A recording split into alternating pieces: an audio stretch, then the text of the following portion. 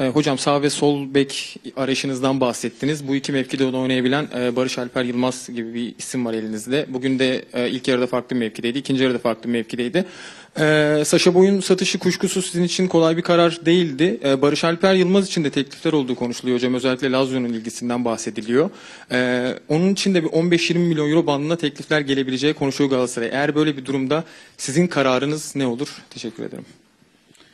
Evet tabii Barış her mevkide oynayınca değerini çok fazla arttırdı. E, Bizim gözümüzde de öyle. E, Bu da tabii ki önemli bir şey bir futbolcu için.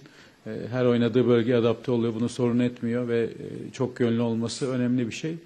Ya şu an için tabii ki kadromuzdan bu tür oyuncuların ayrılmasına izin vermeyiz. Tabii ki teklif gelecek birçok takım takip ediyor, birçok oyuncumuzu takip ediyor. Aslında Galatasaray kadrosu bu anlamda çok değerli, hep bunu söylüyorum.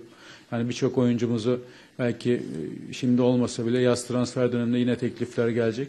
O yüzden e, şu andaki kadromuzu korumak istiyoruz. Bunun üzerine takviye yapmak istiyorum. Şu anda çok fazla e, özellikle oyuncu sayımız da azaldı. Afrika Kupası devam ediyor biliyorsunuz. Orada da oyuncularımız var. Sakat olan oyuncularımız, cezalı olan oyuncularımız. Yani birçok oyuncumuzu kullanamıyoruz.